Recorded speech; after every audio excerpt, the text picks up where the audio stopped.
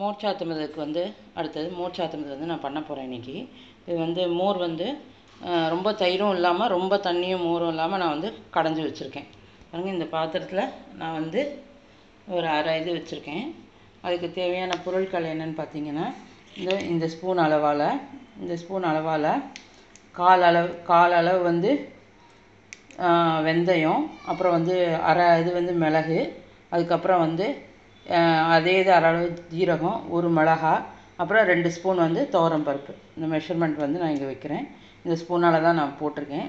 இதெல்லாம் என்ன பண்ணணும்னா ஃபுல்லாத்தையும் வறுத்து அரைக்க போகிறேன் உளுத்தம்பருப்பு வெந்தயம் வந்து கம்மியாக போடுங்க. நிறைய போட்டிங்கன்னா கசக்கும். அப்புறம் மிளகு ஜீரகம் அப்புறம் மிளகா. ஒரே ஒரு மிளகா போடுறேன் காரத்துக்கு. உங்களுக்கு தேவையான உங்களுக்கு வந்து மோரை பொறுத்து நீங்கள் எவ்வளோ காரம் வேணுமோ அந்த காரத்தை போட்டுக்கோங்க. ஃபுல்லாத்தையும் வறுத்துட்டு உங்களுக்கு நான் லேசாக எண்ணெயை விட்டு வறுத்தா போதும். ரொம்ப வறுக்க வேண்டாம். அதுக்கு நான் வறுத்துன்ட்டேன். மோர் சாத்துமதுக்கு வந்து நான் துவரம்பருப்பு மிளகு சீரகம் மிளகாத்தூள் எல்லாம் வறுத்து வச்சுருக்கேன். கொஞ்சம் ஆறுனதுக்கப்புறம் மிக்சியில் திரிக்கணும். அதுக்குள்ளே இதில் வந்து மோரில் வந்து உப்பு மஞ்சப்பொடி பெருங்காயம் இது கருவேப்பிலை இதெல்லாம் போட்டு ரெடியாக வச்சுருக்கேன். இதை வச்சு இதை அரைச்சி இதில் கலந்ததுக்கப்புறம் அடுப்பில் வச்சு கொதிக்க விடணும்.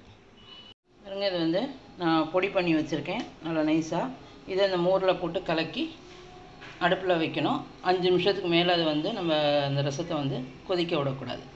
சுவையான மோர் மோர் சாத்துமது வந்து மோர் ரசம் வந்து ரெடி பண்ணிட்டேன். மோர் இது வந்து ஃபைவ் மினிட்ஸ் மேலே கொதிக்கக்கூடாது.